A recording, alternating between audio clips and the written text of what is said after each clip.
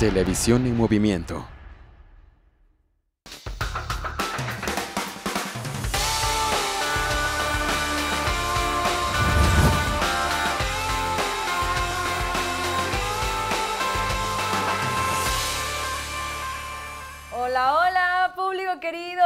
Bienvenidos una vez más a MBM Deportes. Yo soy Nayeli Ortiz y como todos los días tengo el gusto de presentar a Gustavo Gutiérrez y ahora que está con nosotros Alfredo Canseco. Bienvenidos otra vez.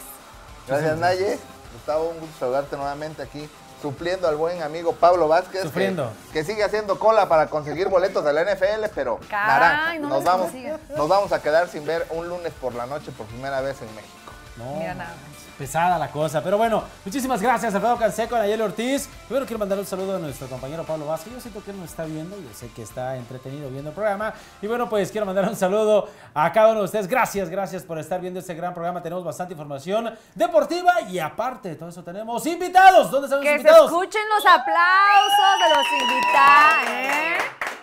Pues ahí están los invitados. Oye, y no son aplausos grabados, público querido, para que usted lo sepa. Más adelante usted se enterará quiénes son nuestros invita nuestras pequeñas invitadas guapísimas. E invitados, ¿eh? E También invitados, por supuesto. ahí. Ya iba yo, ya iba yo a decirlo. Invitamos a todo nuestro público que participe en nuestras redes sociales. El teléfono del estudio es el 205-6300, pero también nos pueden mandar un mensajito al siguiente número. Al 951-220-5419. También en el Facebook nos encuentran como MBM Deportes. Y si usted quiere escribirnos en el Twitter, lo puede hacer. En estos momentos va a aparecer en sus pantallas. Mientras tanto, ¿qué les parece si arrancamos con nuestra información deportiva? Pues Vámonos. ar- arrancamos. El domingo pasado se llevó a cabo la clásica ciclista Lunes del Cerro. Vamos a ver qué pasó.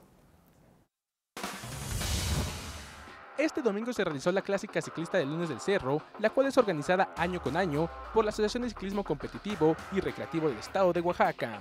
Para esta ocasión, la competencia tuvo un trayecto de 120 kilómetros, teniendo como salida y meta el Cerro de Fortín a la altura del Mirador. El presidente de la CREO nos cuenta más acerca de la competencia. La Clásica Ciclista 2016, con mucho éxito, tenemos alrededor casi de 90 competidores de todo el país. Tenemos grandes equipos como Tennis Star, como Canes Specialized, eh, los hermanos Correa, Empacadora San Marcos, donde viene el campeón de la Vuelta a México. Y pues bueno, tú te has dado cuenta que son competidores de alta calidad, es categoría solamente hay participantes oaxaqueños y esperemos que eh, sea una muy buena competencia. Esta mañana tenemos pues, un día muy asoleado, muy bonito para esta competencia. Esperemos que tengamos también competencia de los oaxaqueños. Hay participación alrededor de 30 oaxaqueños, donde estaremos eh, esperando a, y premiar al mejor oaxaqueño. Alrededor de las 9 de la mañana, los 90 ciclistas se congregaron en el arco de salida, en donde el banderazo estuvo a cargo de Julieta García Leiva, directora de la Comisión Estatal de Cultura Física y Deporte, además del diputado Jefte Méndez y Francisco Gómez Durán de la Asociación de Ciclismo. Para esta ocasión la ruta se cambió debido a los problemas sociales por los cuales atraviesa nuestra ciudad. El trayecto se compuso desde Santa Rosa al estadio de béisbol, pasando por el Cerro del Fortín. Cambió la ruta indiscutiblemente. Ustedes saben que hay problemas con nuestro vía aquí en la ciudad, en la área de Independencia, tanto en Calzada Madero, en Calzada Madero están haciendo trabajos, en Independencia están los profesores. Para evitar, yo creo, la problemática y la coalición con los automovilistas, pues hemos trazado otra ruta diferente que se pone un poco más exigente para los propios ciclistas, pero yo creo que es gustoso para todos y la gente que gusta del ciclismo está en este momento aquí en el Cerro de Fortín disfrutando. Cientos de aficionados apoyaron a los pedalistas con gritos de apoyos y porras a su paso.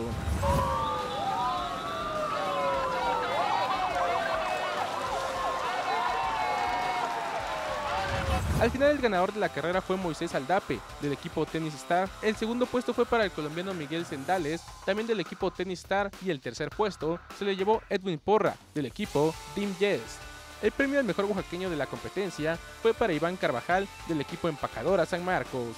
Finalmente el presidente de la CREO invitó para que este domingo se den cita a la octava de la clásica ciclista del lunes del cerro. Con imágenes de Aval Lucrecio, para MBM Deportes, Jair Toledo. Y ¡tarán! Un fuerte aplauso, por favor, para nuestras invitadas del día de hoy.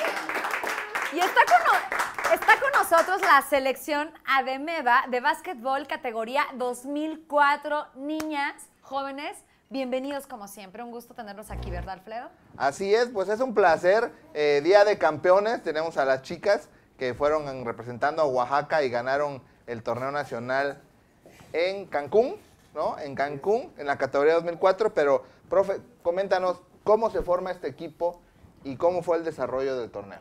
Claro. Bueno, en el caso de las niñas, prácticamente fue un proyecto por, por iniciativa de algunas madres de familia. Eh, la verdad, eh, se esforzaron a más no poder para llegar a ese evento, que pues es un evento muy, muy importante, muy prestigioso. Llegan equipos muy buenos. Eh, en algunas fotos, videos que traemos, pues la verdad se ve el esfuerzo que hicieron las niñas para llegar a este gran triunfo, ¿no? las niñas vienen representando a varios clubes. Están niñas de Ceiba Lobos, están niñas del Club Dragones. No pudieron acompañarnos unas niñas de Halcones, otras chiquillas. Linces. Eh, prácticamente fue un proyecto para unificar nuevamente el baloncesto e ir a representar este, eh, bueno, como un buen selectivo al estado de Oaxaca. Ok, este... Pues una maravilla, la verdad, estas jovencitas. Me encanta el entusiasmo que tienen, porque desde que llegaron están, ya, ya sabes, Gustavo, ¿cómo, cómo entre, entre mujeres parece que nos comunicamos con los hombres? ¿Verdad? ¿Verdad? Oye, pero también queremos saber pues las niñas cómo se sienten, ¿no? Pues me imagino que muy cómodas con pues con el trofeo, los papás. un saludo a todos los papis que están ahí abajo en el estudio. ¿Quiero escuchar el aplauso? No, ah, pues, sí. y, la, oye, las matracas, ¿no? Bueno, rápidamente que se presenten las, las peques, por favor. ¿Tu nombre? Me llamo Sayuri, y tengo 12 años y juego... ¿A qué equipo perteneces? Ah, pertenezco a Ceiba Lobos. ¿Y, eh, manejo centro o movedor. Ok. Perfecto. ¿Tenemos a?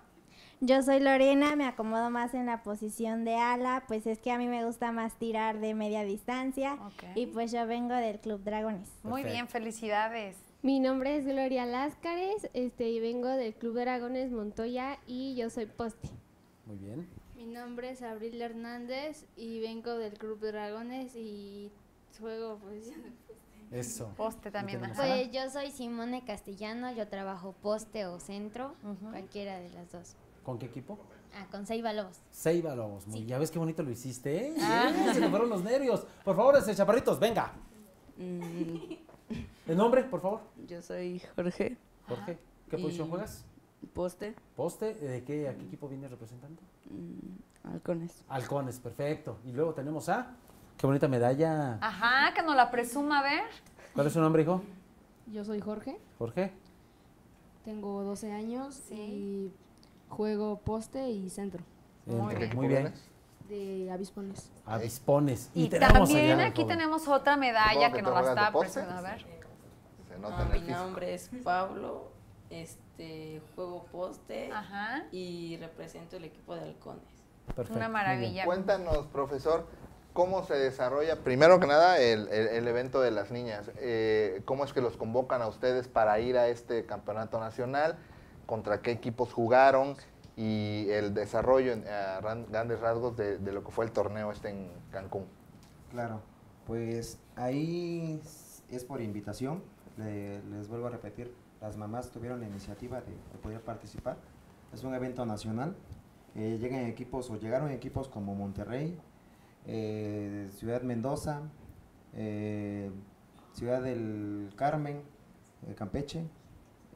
por ahí estuvieron mismos equipos de, Cancún, que pues la verdad fueron los que nos dieron mucha, mucha guerra en, las semifinales. fueron seis, seis juegos perdón, cinco juegos. los cinco juegos pues, salieron victoriosas las, pequeñas, dieron muy, muy buenos resultados. Eh, ya a la final, bueno, pasamos como primer lugar y volvió, volvió a subir Monterrey. Ahí es donde, pues, por una canasta nos quitó el, el trofeo de primer lugar, pero anteriormente se le había ganado por nueve puntos a Monterrey pero le digo, ya las chiquillas estaban un poquito lastimadas, el eh, desgaste. supongo que, el clima fue, fue factor, ¿no? Eh, eh, debieron de haber llevado muy buen fondo físico para, para, jugar a nivel del mar en estas fechas que es muy caluroso, pues sin embargo, por, por el resultado del torneo que traen, se nota que pues llevan un buen trabajo físico. Efectivamente, eh, les comento que ellas entrenan en sus clubes, independientemente tuvieron una asesoría por el coach eh, David eh, de España, y pues su servidor fue el que las acompañó a este evento. Pero sí, sí, se, se han esforzado bastante las niñas, han estado en diversos eventos, fueron a Veracruz, fueron a Puebla, trayendo pues buenos lugares para Oaxaca. ¿Con qué tiempo de anticipación tú digamos que las concentraste de sus clubes? O el, o el coach este. Trabajaron alrededor de seis meses. Seis meses. Seis meses. Eh, pues prácticamente ellas se conocían, pero como, como rivales. Y ya se, se llegaron a concentrar para entrenar y pues resultó muy buen equipo. En algunas otras ocasiones habían estado jugando ellas pues por, por casualidad en otro selectivo, pero creo que es la primera vez que se reúnen ellas como equipo. Y ahora cuéntanos de, de, de, los jóvenes, ¿cómo es que se da el desarrollo en Tabasco? Igual un clima pues muy, muy difícil para jugar ahí en, ahí en Tabasco. Sí, la verdad es un poquito sofocante, sofocante para ellos, el desgaste es tremendo, pero sí lo supieron llevar. Eh, de igual manera fueron seis equipos, eh, también tuvieron la fortuna de, de pasar como primer lugar esperaron un segundo lugar, subió Tabasco y fue que en la final eh, ahí sí tuvimos la oportunidad de traernos el primer lugar. Bueno, pues venga un reconocimiento No, una- para los un papás aplauso de, para estas Claro. para los papá- papás que son, el esfuerzo. que son los que promueven que, que sus Sí. hijos hagan deporte. Es costoso eh, Claro. salir de- de- del estado de Oaxaca a competir, ¿no? Sobre todo me imagino que Cancún es, es- es algo carito, ¿no? Claro. algo caro. Pero bueno, un reconocimiento a los papás y a estos jóvenes que, bueno, eh, Enhorabuena. se dedican al deporte, alejados de los vicios. Sigan, muchachos, practicando deporte. Así es. Y bueno, y ojalá sigan cosechando triunfos. Así es, chicas, felicidades. Felicidades. Felicidades, a los chicos ¿Algo también. que quieran agregar, Peques? ¿Algún saludo No. o algo? ¿No? ¿Nadie? ¿No? Mandar ¿Seguro? un- Oye, ¿mandar un besito a alguien? ¿No?